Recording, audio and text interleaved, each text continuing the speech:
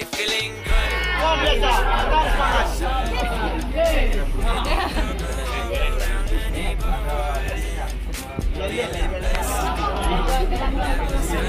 Ulang pak, ulang pak, ulang, ulang. Semangat pagi. Mau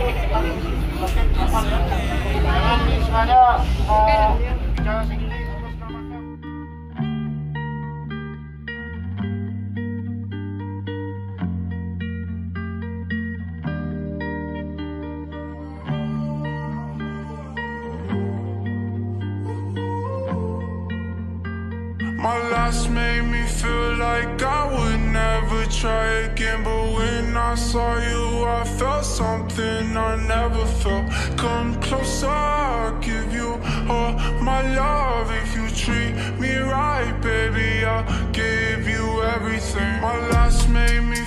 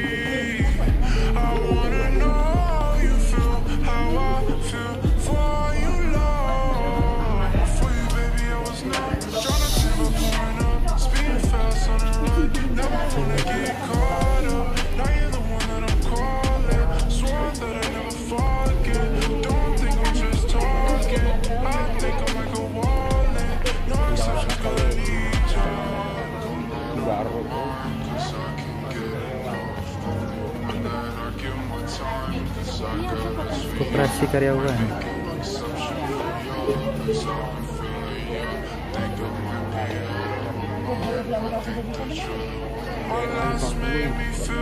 Panas. Tiap hari makan Indomie lah kak ya. Oh, tanya nanya ya, salah, salah? Saya gak perlu membaca. Ini udang apa pak? Dengar. Sama pemandu. Itu ada depan apa? Ini udang apa pak? Mungkin handphone sabar sabar.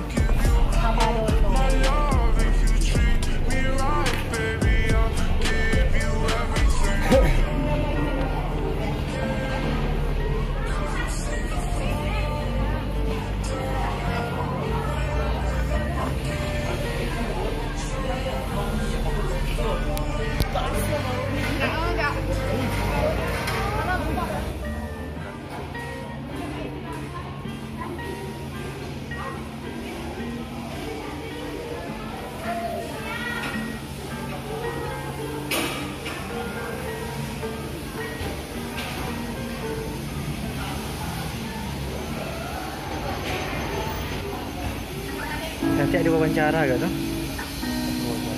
Wawancara karyawan ke atau man- manajer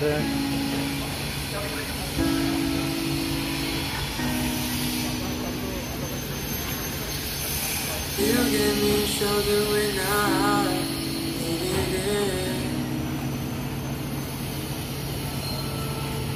You show me love when I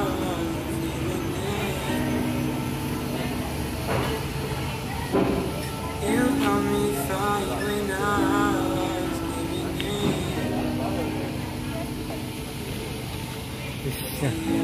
genset. laugh when I was losing it.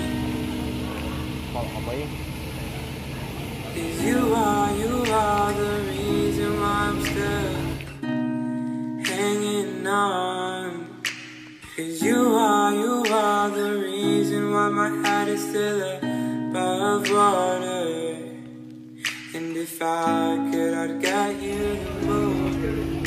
Yeah. missing you. If that was coming from you. I did my life on you. 'Cause you are, you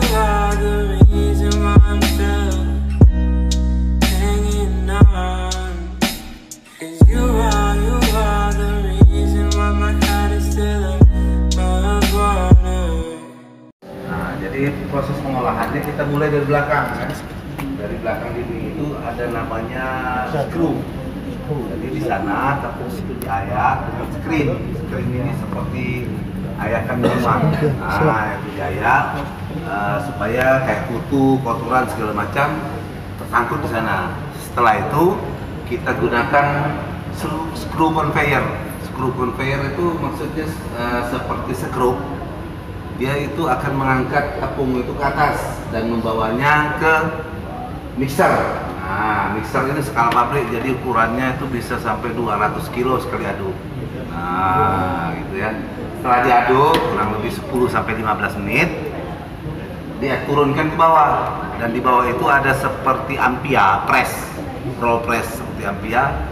Eh, dia akan memipihkan adonan tadi sehingga sampai seukuran ketebalan mie. Nah, setelah sampai ketebalan ketebalan mie, di depan ini ada namanya sliter. Nah, di situ fungsinya untuk seperti menggunting adonan tadi seperti ah, ah, silakan jalan seperti untayan mie. Ah, kalau bentuk keriting itu karena proses kecepatan dari yang cepat menjadi lambat sehingga terbentuklah adonan. Setelah itu kita kukus di sini, namanya steambox. Kita kukus dengan uap panas kurang lebih 100 derajat lebih. Setelah itu kita lipat dua, lalu kita potong.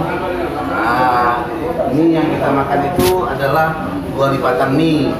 Nah, di sini setelah kita lipat kita potong. Setelah dipotong eh, dimasukkan ke dalam retainer atau mangkok untuk eh, menyimpan mie yang sudah dilipat tadi. Setelah dimasukkan ke dalam mangkok ini, mangkok ini dijalankan. Ini fryer namanya. Jadi di dalam ini ada minyak panas sebanyak 2 ton. Jadi mie yang tadi yang udah dilipat akan dilewatkan. Nah, estimasinya keluarnya udah kering itu udah udah tuh udah matang. Jadi logikanya eh, proses pembuatan eh, mie ini seperti kerupuk. Jadi istilah eh, pengawetan kita secara fisika tidak ada bahan kimia. Jadi seperti kerupuk. Setelah kita goreng, kita angin-anginkan fungsinya supaya waktu dibungkus nggak tengi Nah, atau tidak merusak pembungkusnya. Kalau pembungkusnya bocor, jadi mie-nya akan tengi dan rusak. Nah, jadi kalau mau makan, mau beli mie, periksa dulu masih ada angin nggak. Nah, itu udah pasti bagus mie-nya. Nah, takutnya bocor, tengi, nah lemau.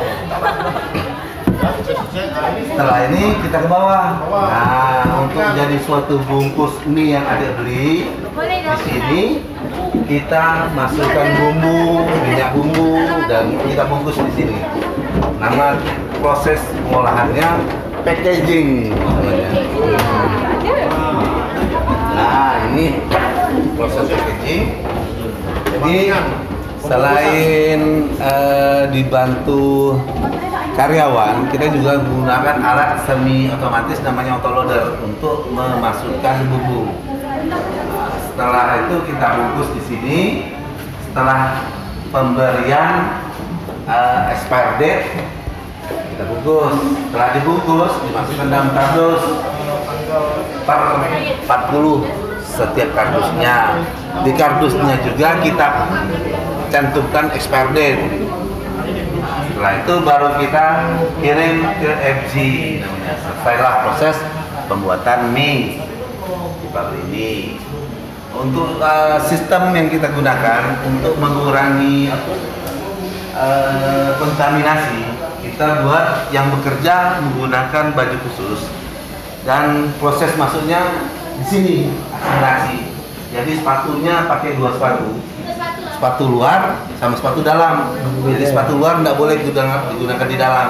Nanti di dalam juga kita pakai sabun, alkohol, cuci. Jadi kita meminimalisir kontaminasi dari luar. Oke, sekian dari saya. Terima kasih.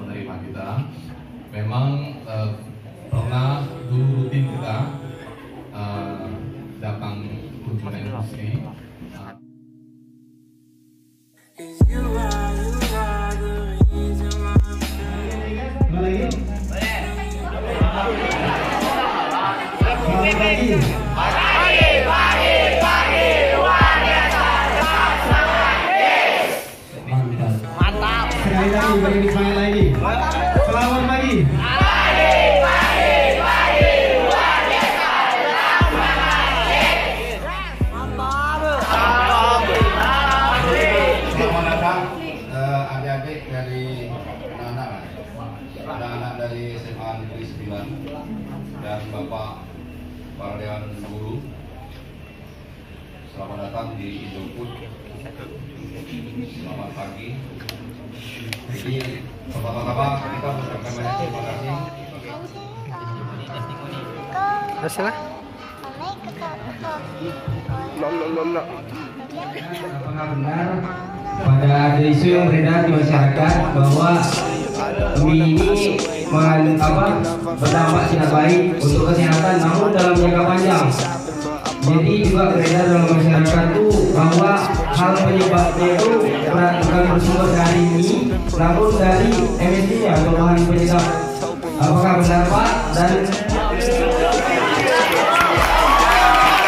dan mohon maaf kalau boleh tahu apa saja komponen dari bahan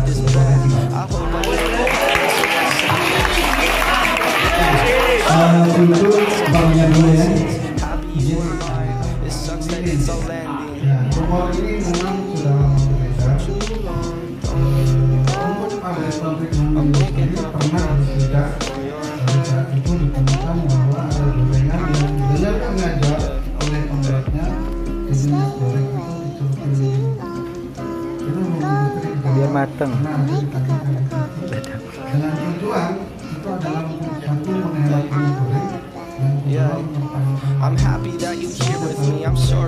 up. When me and you were younger, you would always make me cheer up. Taking goofy videos and walking through the park. You would jump into my arms every time you heard a bark. Cuddle in your sheets, sang me sound asleep, and sneak out through your kitchen at exactly one oh three. Sundays went to church, and Mondays watched a movie. Soon you'll be alone. Sorry that you have to lose me.